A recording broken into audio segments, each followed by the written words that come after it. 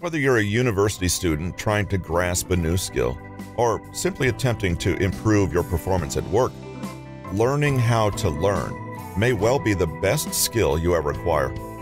Whatever our chosen area of expertise, we'll always fare better if we pay conscious attention to how we learn, whether that's taking more effective notes, processing new information better, quickly comprehending material, or simply learning to read lightning fast.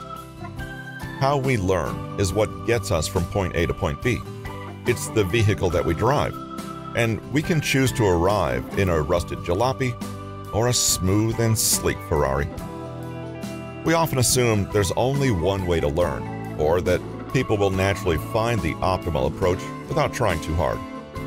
We believe everyone learns through processes that they are most comfortable and thus productive with. Nothing could be further from the truth. Effective learning is a meta skill that improves our ability to learn all other skills, and it's something we need to deliberately and consistently cultivate in ourselves if we hope to improve. This book is about learning, about how to become better at acquiring, processing, and retaining knowledge and skills of all kinds. Learning is a complex process of being aware of, managing, comprehending, absorbing, synthesizing, and recalling information on an ongoing basis. The better we're able to manipulate and handle information according to our goals and needs, the more deeply we understand and the more thorough our learning process. With that being said, why do so few people spend time developing their ability to learn? Why is there not more attention paid to learning for its own sake, or to sharpening those abilities that support and enable all our other ones?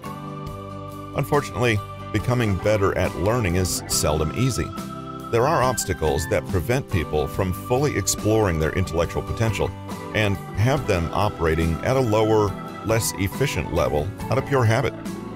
This is why we'll begin this book not with the techniques themselves, but with all the things that ordinarily impede our mastery of them. In removing our own resistance, we'll gain better access to better learning.